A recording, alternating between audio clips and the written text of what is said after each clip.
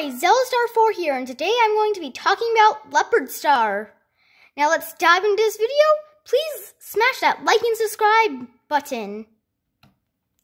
What do we know about Leopard Star? Well, first thing I know about her is she became leader.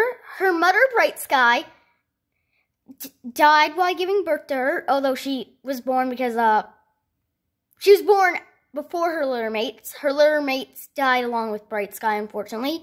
And her mother also had a sickness that couldn't be cured, even the medicine cat tried. And one day, we know one day she will be important to all the clans.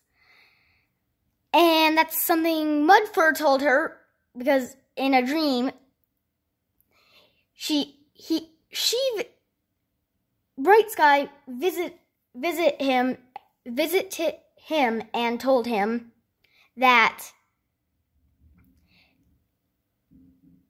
Le protect Leopard Star, Leopard Kit, she will be important to all the clans one day. And so he did protect her. What clan is Leopard Star in? She is in River Clan. They catch fish. And that's mainly it there. Who is her mentor?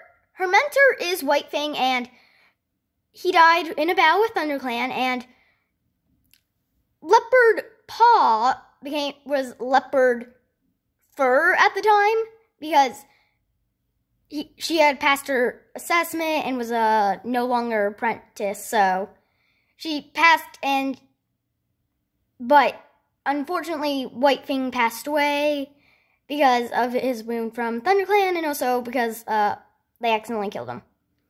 Leopard Fur did not like this about ThunderClan and didn't really forgive them for that. But eventually she lets go, and she, eventually she becomes leader also. Because it's called Leopard Star's honor. And that's it. Zeldastar 4, signing out. Bye. Bye.